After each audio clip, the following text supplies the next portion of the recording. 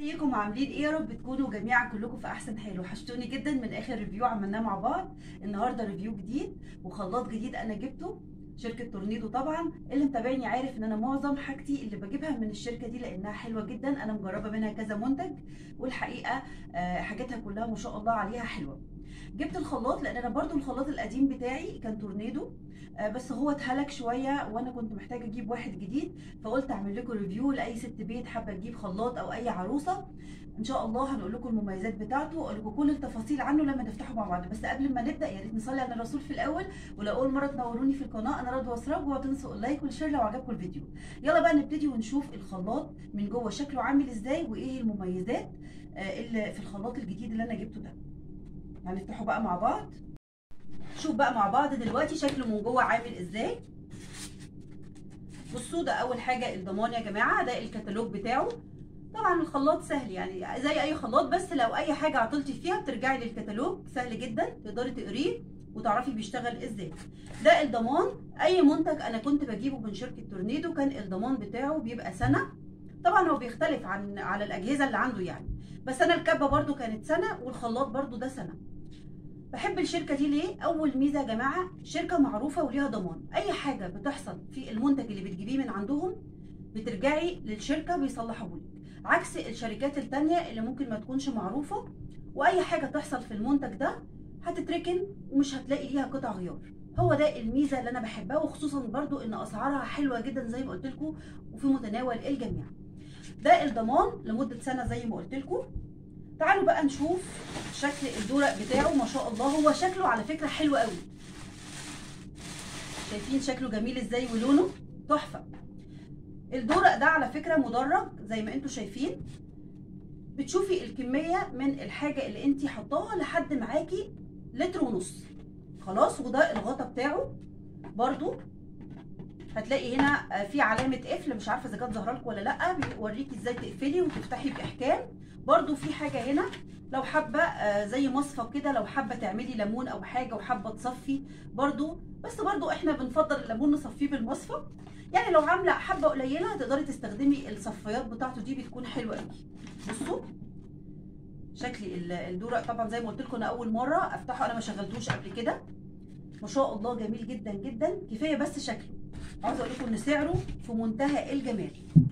تعالوا برضو نشوف في اتنين مطحنة زي اي خلاط. لازم يكون ليه اتنين مطحنة. مطحنة هتعمليها للتوابل والمطحنة التانية هتعمليها للحاجات اللي خاصة مثلا حابة تعملي سكر باودر تطحني فيها حاجة خاصة بالحلويات عشان الحاجة ما تكرفش. ما شاء الله عليهم. شايفين يا جماعة؟ مطحنة جميلة جدا. عكس المطاحن بتاعت زمان اللي كنت تعذبك بقى وانت بتطحني الحاجة ساعتها كبيرة سهلة جدا كمان في تركيبها. على فكرة هو ضد الكسر وهقول لكم هو مكتوب على الكرتونة كل التفاصيل اللي خاصة بيه بس في النهاية. شايفين؟ تقدري تركبيها بكل سهولة. في منتهى الجمال. دي. دي المطحنة الأولى ودي المطحنة الثانية زي ما قلت لكم تقدري تعملي واحدة للسكر البودر أو أي حاجة خاصة بالحلويات يعني ما يكونش ليها ريحة وما تكرفش المطحنة وواحدة تبقى خاصة عندك للتوابل.